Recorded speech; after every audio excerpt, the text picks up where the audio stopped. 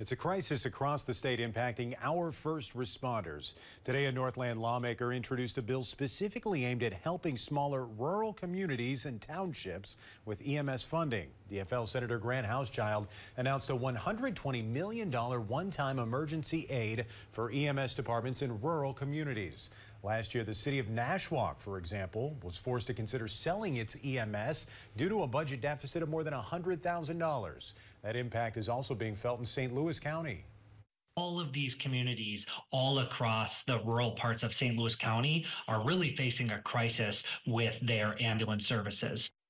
The rural EMS bill, along with three other bills addressing rural needs, is expected to be heard in the Senate as it moves forward. However, for now, they were laid over and expected to be added to a future tax omnibus bill.